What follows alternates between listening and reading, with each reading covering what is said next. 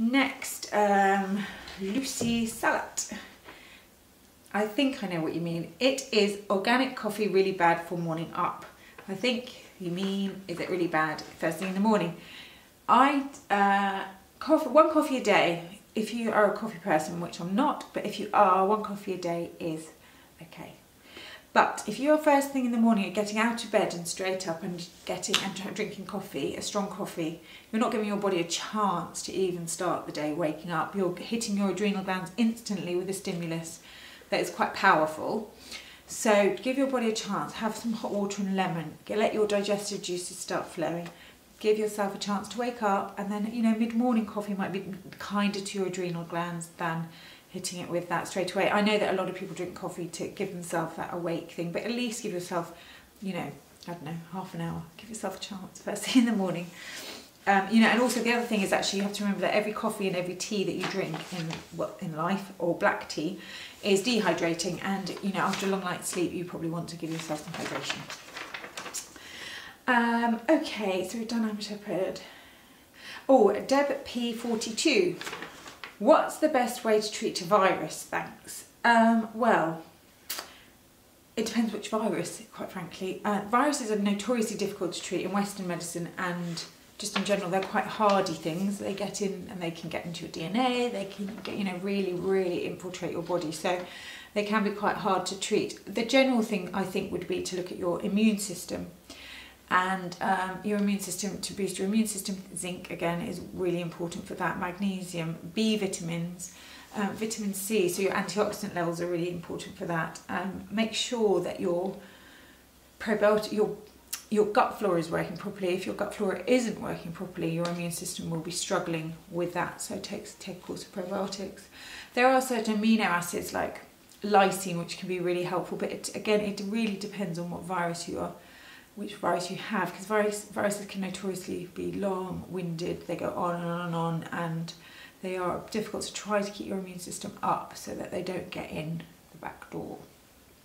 Um, okay Janie Fulcher hi I have been perfectly healthy up to now. I'm 64 now if I get a, now if I get a cold or a cough it takes six to uh, seven weeks to clear. I am taking on board your supplement advice for a good immune system anything more I can do? Thanks.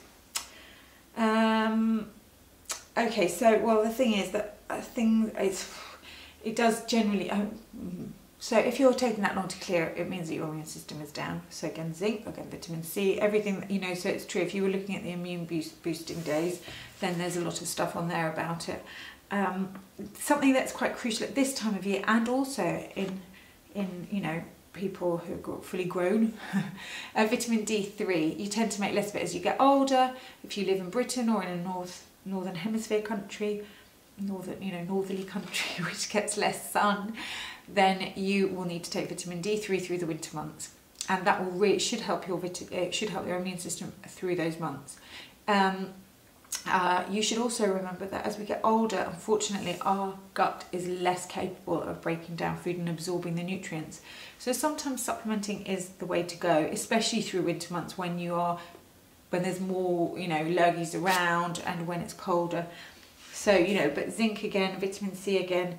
There are things like the herbs, have a look at the herbs, rosemary, basil, oregano, um, garlic, you know, try and you could try concoctions of those to see you know put the, the raw you know use as much of them as you can. They are wonderful at killing off microbes. They're natural like antibiotics. So you know try using them in your cooking try using them raw in juices in smoothies. I know that garlic is um, quite strong tasting but you know it really is wonderful. You could even go so far as to use a garlic suppository if you're feeling brave. It does work wonders also, you know, you can do things like your ginger tea with uh, manuka honey and garlic in it, and it's less offensive probably to, to a lot of people with rosemary. Those really do work if you use them on a regular basis. They can be quite therapeutic. So I hope that helps you. Okay, last one. Oh, Rosie says, uh, hello, that's her, that's her tag. Not, she's not saying that to me. Hello, supplement related. What would you say are the best daily supplements to take for general well-being for women? Thank you.